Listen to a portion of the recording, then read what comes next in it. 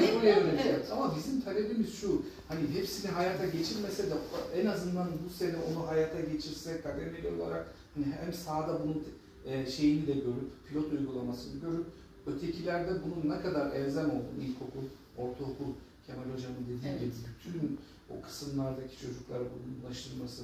Biz okul, okul öncesi diyoruz ama beslenme alışkanlığı liselerde mesela hiç yok. Çocuklar Hiç hiç, yok. getirmiyor.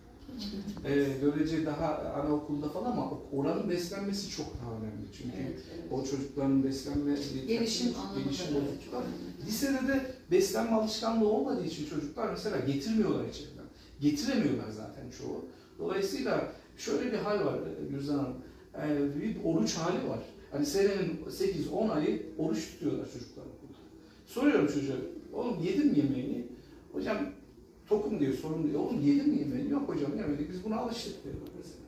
Oo, Yani alıştılar, dolayısıyla alıştılar. ha, alıştılar yani, alışıyoruz diyor. Yani ya için gidiyor sonuçta. Birçok öğretmen de buna tanık oluyor ama hani bunun çözümü biz öğretmenler arasında zaman zaman şey de yapıyoruz, dayanışma da yapıyoruz.